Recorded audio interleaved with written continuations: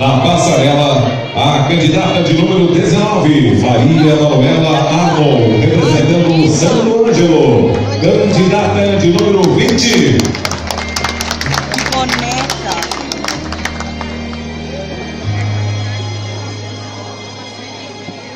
Que a candidata de número 20 é